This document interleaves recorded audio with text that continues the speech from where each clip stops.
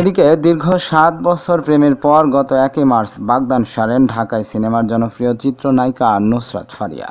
সোমবার সন্ধ্যায় ছয়টায় নিজের ভেরিফাইড ফেসবুক পেজে এক স্ট্যাটাসের মাধ্যমে তথ্য নিশ্চিত করেছেন অভিনেত্রী নিজেই।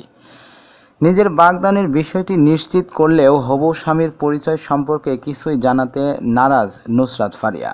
নুসরাত ফারিয়া বলেন, সৃষ্টিকর্তার প্রতি আমাদের অসীম কৃতজ্ঞতা। আমরা দীর্ঘদিন একে অপরকে চিনি। মূলত সাত বছর ধরে আমাদের সম্পর্ক। পরিবারের সম্মতিতে আমাদের আংটি বদল হয়েছে, পাত্রের নাম এখনই বলতে চাই না। তবে নুসরাত ফারিয়ার ঘনিষ্ঠ একটি সূত্র জানিয়েছে অভিনেত্রীর হবু স্বামী একটি টেলিকমিউনিকেশন প্রতিষ্ঠানের শীর্ষ কর্মকর্তা। নাম রনি রিয়াদ রশিদ।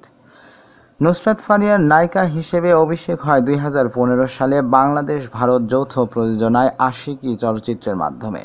এর আগে রেডিও জকি ও উপস্থাপক হিসেবে কেরিয়ার শুরু করেন তিনি। অভিষেকের পর হিরো চারশো বিশ, বাদশাহ দ্য ডন, বস টু দেত্রিকি সহ বেশ কয়েকটি চলচ্চিত্রে অভিনয় করেছেন তিনি। সাকিব খানের সঙ্গে তার সিনেমা শাহেনশাহ মুক্তি পায় গত ছয় মার্চ। নির্মাতা শিয়াব শাইনের যদি কিন্তু তবুও চলচ্চিত্রের শুটিং শুরুর পর করোনা ভাইরাসের কারণে স্থগিত হয়ে আছে। এতে তার সহশিল্পী হিসেবে আছেন অপূর্ব। তার আগে দীপঙ্কর দীপনের ঢাকা দুই হাজার চল্লিশ ও অপারেশন সুন্দরবন সিনেমার শুটিং শুরু করেন নুসরাত ফারিয়া। এদিকে বিষয়টি নিয়ে সোশ্যাল মিডিয়ার আলোচিত ব্যক্তিত্ব আশরাফুল আলম ওরফে হিরো আলমকে প্রশ্ন করা হলে তিনি তাদের জন্য শুভকামনা জানিয়েছেন।